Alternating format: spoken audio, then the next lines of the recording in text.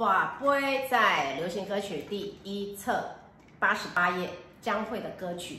这个曲子，嗯，做的是 G 调的谱，不会太困难，用的都是 G 调的传统指法。什么叫 G 调的传统指法？